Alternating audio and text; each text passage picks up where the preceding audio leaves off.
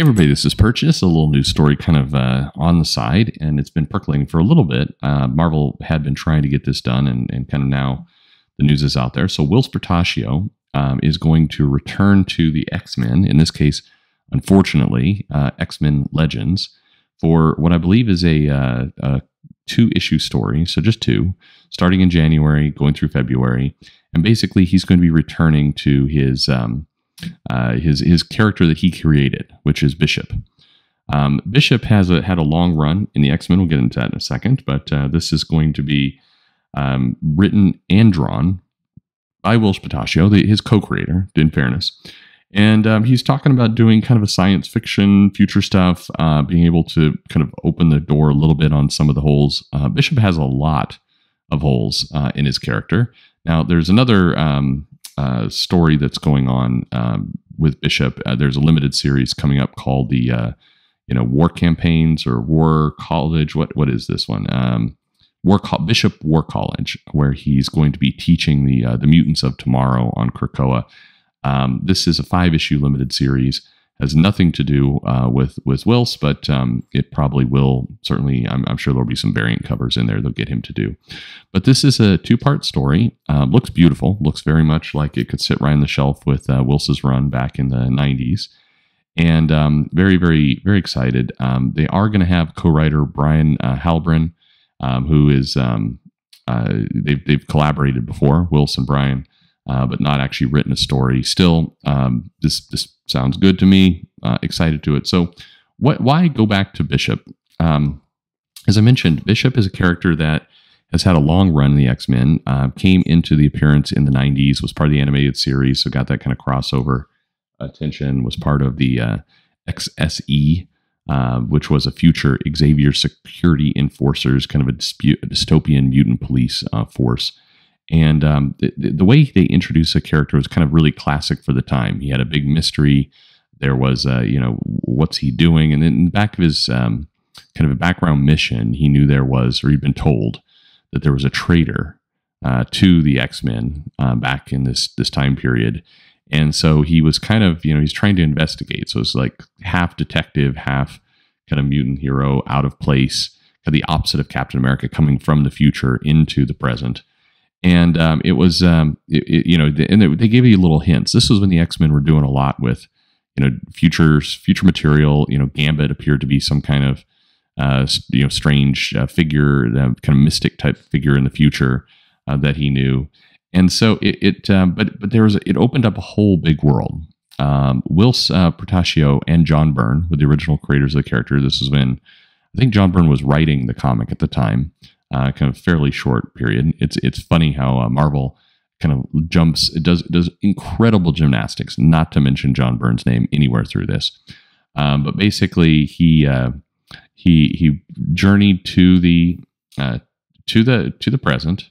Um, he uh, team he basically did you know they they became very popular very quickly so then he had a mini series he had a couple they introduced more parts of his world they teamed him up with gambit um, and they did they just did a, a whole bunch of things. Um, and it was uh, it was he he had this very complex um, backstory.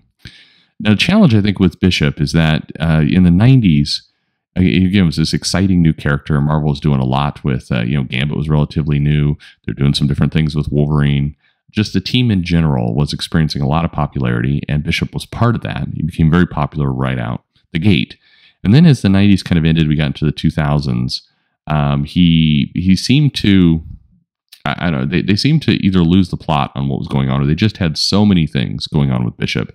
Um, he was part of the Age of Apocalypse, uh, kind of this this character who who knew that things were off, so used him for that. And and basically, anytime they had some kind of mystery or time travel or, or any kind of shenanigans, uh, they would kind of insert Bishop into it. And pretty soon, he got uh, get really convoluted. And then they they had his family and they, his sister, uh, Shard, uh, showed up, uh, and and so it just it just kept going and going and going. And in many ways, it kind of tipped over the character itself. Um, they eventually, uh, you know, with, with this traitor destroying the X Men uh, from the uh, inside, um, I believe I think they they ultimately decided it was Xavier, right? I think that's that's who it was as part of the onslaught type situation.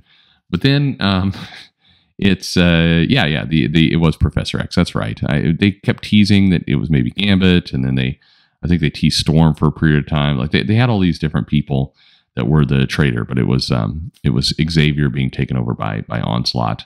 Um, and then uh, and then they had uh, the Extreme X Men. He was part of that uh, group with Storm.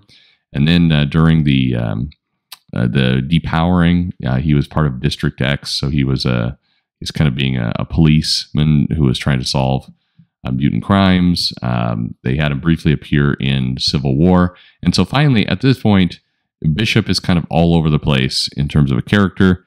And so during the Messiah complex, um, they Bishop basically did the big heel turn, and so um, you know they, so that that led to kind of this new status quo where Cable took the new baby, who would be Hope Summers, and would take her kind of into the future. But uh, I, I, think the his time travel device was damaged in some way, and he uh, he he can only go one direction. So Cable uh, vanishes into the future, trying to protect the baby to get Hope grown up so uh, she could survive.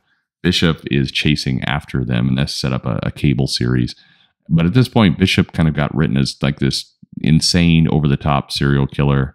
Um, got uh, got teamed up with Strife at one point, and just just all over the place. Um, and uh, you know, and and Bishop was kind of stranded in the future.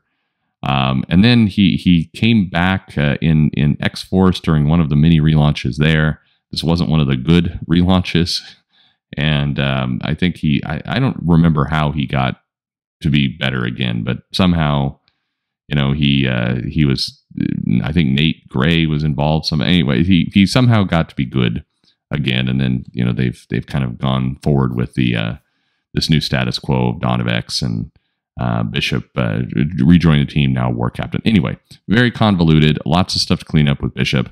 So, what will um, Whilce Portacio do in his series? Um, he's only got two issues, and it sounds like he's going to be tapping into the XSE, so the very original kind of uh, period of what made Bishop. How is this time cop thing going on?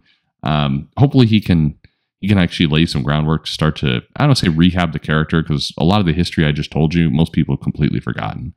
Uh, I, I, you know, toward the the tail end of my comic shop uh, when we were up in Washington, um, there was uh, people had completely memory hold the entire evil turn and chasing cable and all that kind of stuff. And I mean, for good reason. It was uh, it, it, was over the top and a bit crazy, but um, they, so hopefully we can get some good stuff out of Bishop. I just I guess if you were not around in comics in the '90s, um, Bishop was this very exciting character. I mean, he sold books. He wasn't at the Wolverine kind of level, but uh, definitely Bishop was. If he was, if he was in the comic, they could actually sell off of Bishop being a guest star. Uh, this was a time period where you know those kinds of characters in those moments actually made a huge impact, and and they were uh, they were significant. So hopefully that's uh, that's we can start to regain that.